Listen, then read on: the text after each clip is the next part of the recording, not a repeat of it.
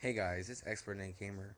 Um, I know I'm making another video, and I know I've been making a lot of videos lately, but um, this is actually a very, very important video.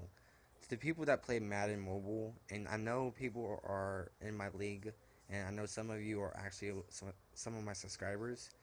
If you guys are in the tournament, you need to do your turns. Like, we're on a 10 wins, 10 wins and 16 loses that's bad, guys. You guys need to step it up. And I'm getting tired of telling you guys over and over. You guys can join my league, but peace.